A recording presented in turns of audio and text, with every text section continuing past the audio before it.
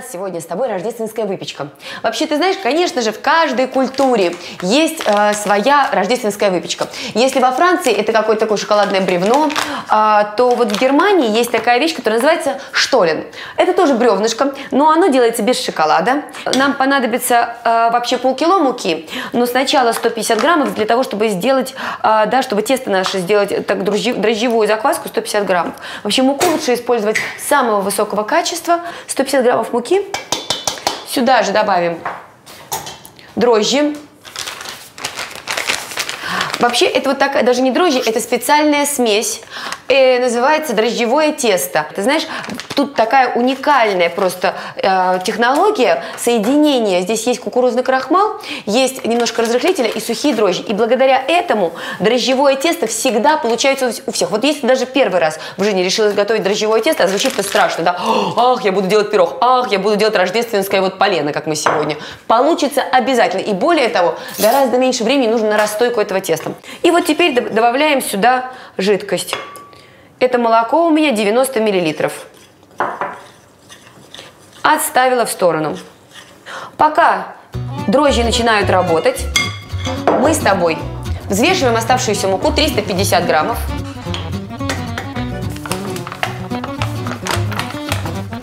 Так. 350 граммов муки добавляем вот сюда, в чашу для взбивания с насадкой крюк. Вообще, ты знаешь, во-первых, этот комбайн, он невероятно мощный. Вот почему я всегда, когда с тобой мы занимаемся тестом, mm-hmm. я, в принципе, никогда не мешаю тесто руками, потому что у меня просто не хватит этой мощности, чтобы грамотно вымесить тесто. Вообще удивительное, уникальное, я считаю, это сооружение, этот комбайн, который изобрели. Вообще вот эта система, знаешь, оп- mm-hmm. опустить, поднять. Ей уже 60 лет, ничего лучше никто не придумал. Меняются там цвет у комбайна, меняется материал, из которого он изготовлен. Появляется масса новых насадок. Вот у этого комбайна очень очень много насадок. Он может вот так вот взбивать нам тесто. Конечно же, он сделает прекрасные э, взбитые белки для меренгов, для белкового омлета, для безе. Конечно, он может измельчить, вот мы будем с тобой измельчать миндаль позже, ты увидишь, он измельчает все просто в пыль. Мясорубка есть у этого комбайна. Есть насадки для пасты, так и называется, страсти по пасте. Но тем, кто, кто любит итальянскую кухню, я, например, очень люблю, ты знаешь. Так, кстати, пока я сейчас не забыть, небольшую миску изюма, 100 граммов изюма, заливаю ромом, 50 миллилитров рома для аромата. И позволить, этот изюм мягкий, сочный, но в принципе можно оставить на пару часов, если изюм у тебя суховат. Так, сюда к маслу и муке я добавляю 2 яйца. Вообще, естественно, как у любой традиционной выпечки, рецептов э, Штолина очень много. И там говорят, что он был изобретен в городе Дрезден, что он оттуда происходит. Вообще, символизирует он собой, как любое полено, да, вот, которое на, на стол подается, младенца, завернутого в пеленки, да, потому что Рождество. Так, еще нам понадобится сахар, 100 граммов.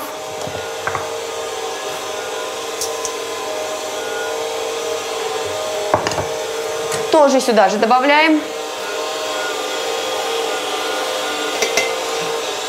А вот теперь специи и пряности. Посолить, конечно же, обязательно.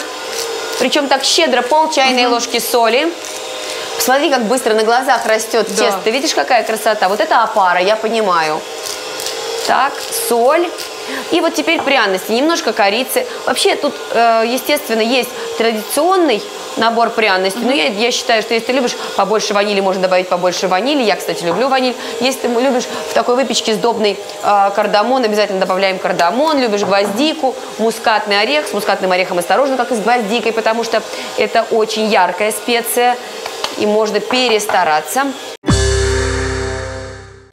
Я так понимаю, что вот крюк, он именно специально медленно, да, вымешивает это тесто? Да, это... более того, э, крюк, дело, дело не в скорости, ага. с какой работает крюк, а именно дело в мощности. Это мощность 1600 ватт, то есть mm. это, ну понимаешь, какие руки нужно да. иметь, чтобы так вымесить. Более того, э, э, дрожжевое тесто не любит большой скорости, а. он любит такие сильные руки, понимаешь, недаром все мужчины, там, пекари и кондитеры, как правило, да, традиционно были, потому что это очень тяжелый труд. А тут вот бах, и тебе помогает комбайн комбайн с этим справится. Он, видишь, такой, он на самом деле не очень большой, да, а делает такую мощную работу. А вообще можно его сложить очень компактно, видишь, эти ручки, благодаря которым чаша снимается, все вот эта конструкция опускается, шнур втягивается, и все, и он становится очень компактным, очень удобно его убрать куда-то.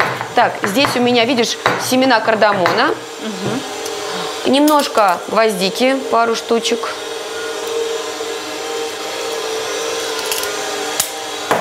Тоже растираю. Ну и так как я тебе сказала, я очень люблю ваниль, я обязательно сейчас добавлю и сюда, и потом для этого теста существует, вот уже когда он готов, такая специальная заливка.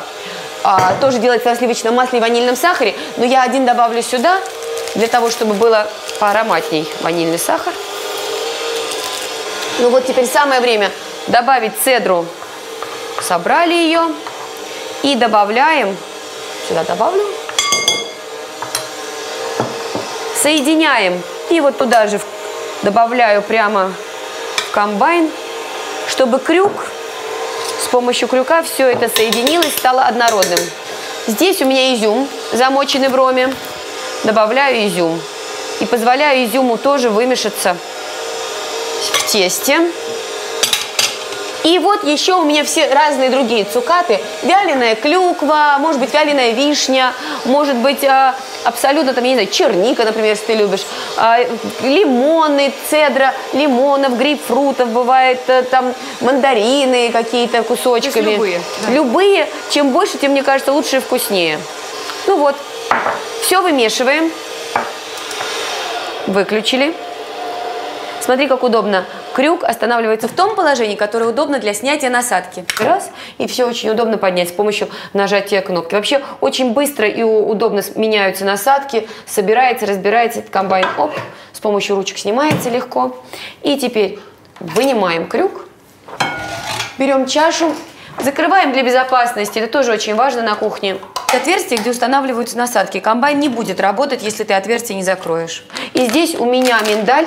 Мне понадобится 100 граммов, то есть пол этого пакетика. Миндаль не бланшированный, но обжаренный, подсушенный.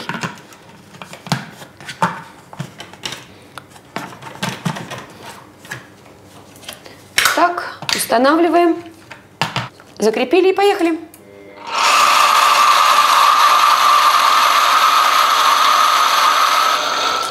Моментально орехи превратились в очень мелкую крошку, и поэтому теперь всыпаем их вот сюда. Орехи есть.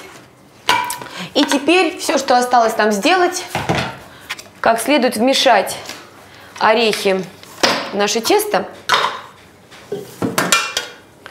Тебе не надо много техники на кухне, потому Да что он нет, делает а- все. Нет, ну он поэтому и называется, во-первых, максимум, во-вторых, это комбайн, который действительно обладает огромным потенциалом. Он может все. На медленной скорости вмешиваем орехи, готовим мокрое полотенце. И вот смотри, орехи вмешались, тесто абсолютно однородное. Все. Теперь это тесто должно постоять недолго, накрывая его мок влажным а, полотенцем для того, чтобы оно подошло побыстрее. Отставила в сторону. Ну вот тесто подошло. Прямо на стол немного муки. И с помощью скалки или руками, лучше скалку возьму. Тесто раскатываем в прямоугольник. Оно, ой, такое хорошее, послушное. Вымесим его еще немножечко. Ой, как я люблю все-таки с тестом возиться. Что-то в этом есть магическое. Делаем прямоугольник. Ну, если он такой немножко круглый, ничего страшного. А здесь у меня марципан. Это такая миндальная паста с сахаром.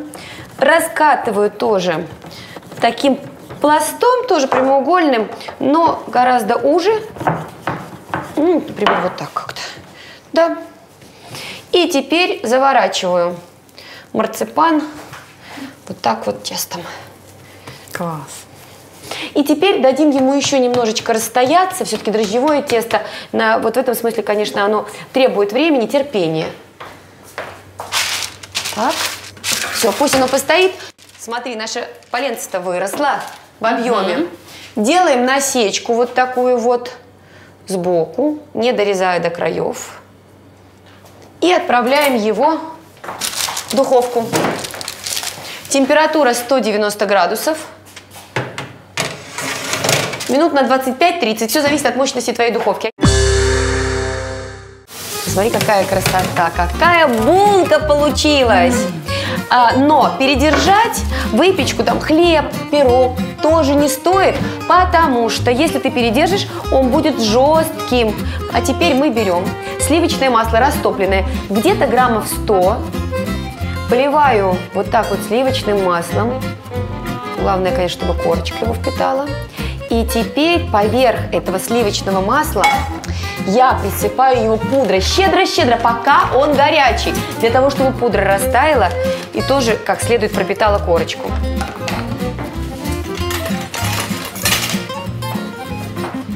Может быть, это не классический штолен, может быть, немцы бы и усмехнулись, глядя на то, как я его готовлю. Я, честно говоря, нигде не училась, просто поискала разные возможные рецепты и вот пришла с каким-то своим решением.